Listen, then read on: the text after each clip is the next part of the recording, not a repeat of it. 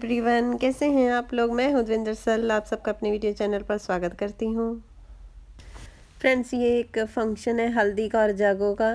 तो चलिए आपके साथ शेयर करती हूँ मैं ये फ़ंक्शन।